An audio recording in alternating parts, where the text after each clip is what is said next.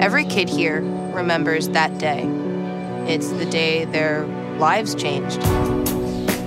That day for me happened when I was 10 years old. My father was diagnosed with prostate cancer. Because of his radiation treatment, he was secluded to his room, which meant no hugs, no kisses goodnight. The fear of growing up without your dad is overwhelming. While I know that sharing my experience can help, these kids need more than that. They need solutions. Prostate cancer is the second leading cause of cancer death in American men. What happens next? Through the creation of vaccines harvested from tumors, University of Notre Dame professor Mark Suckow is working to improve prostate cancer treatment. Although most cancers are complex mixtures of cells and molecules, many treatments aim at only a single target.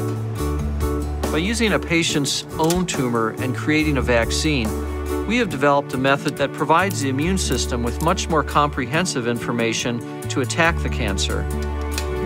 Professor Suckow's innovative, targeted approach is so important because it could transform how we treat prostate cancer and save hundreds of thousands of lives. On the final day here at Camp Kesem, all the campers and counselors light a small candle. We call it a wish. All the wishes are placed into small boats and we put them in the water. I'm lucky because I don't have to wish for my dad's recovery. He's alive and healthy today. And I hope that through the research of Professor Suckow, kids everywhere can be just as lucky. The University of Notre Dame asks, what would you fight for? Fighting to cure prostate cancer. We are the Fighting Irish.